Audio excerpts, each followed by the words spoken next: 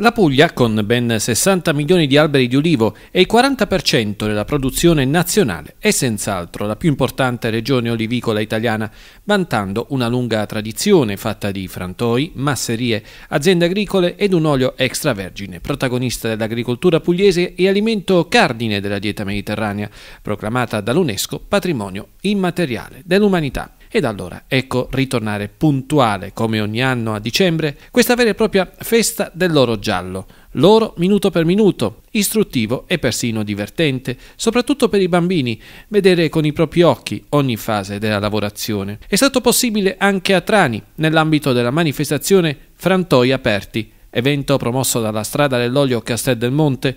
Anche quest'anno, in decine di frantoi del territorio, si è svolta questa bella festa dell'olio novello, una occasione di promozione e aggregazione attorno al prodotto principe della nostra terra. A Trani, in particolare, la manifestazione ha avuto luogo presso il frantoio Oro di Trani e qui è stato possibile seguire ogni passaggio della produzione dell'oro verde, defogliatrice e deramificatrice, lavatrice, frangitore, gramole, omogenizzatore, estrattore centrifugo, separatore centrifugo, stoccatore dell'olio verso i serbatoi.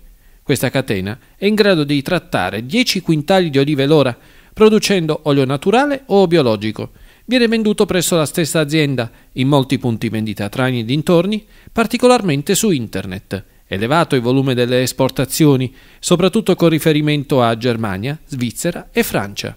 A completamento delle visite guidate non sono mancate le degustazioni direttamente dal serbatoio o, più comodamente, sulla tavola appositamente allestita e arricchita da altri prodotti tipici locali. Quella andata in scena quest'anno è esattamente la decima edizione di Frantoi Aperti, una bella conferma della validità di un evento che mette in risalto l'eccellenza qualitativa dell'extravergine pugliese e la passione e professionalità allo stesso tempo di frantoiani che dedicano un giorno di lavoro soltanto a questa manifestazione, accogliendo numerosi visitatori che assistono alle fasi di produzione di un alimento che non deve mai mancare sulle tavole degli italiani. L'obiettivo resta quello di valorizzare e difendere l'extravergine pugliese attraverso iniziative di sensibilizzazione e promozione di imprese che lavorano bene e che con il proprio lavoro innalzano giorno dopo giorno l'immagine dell'olio pugliese e di Trani nel mondo.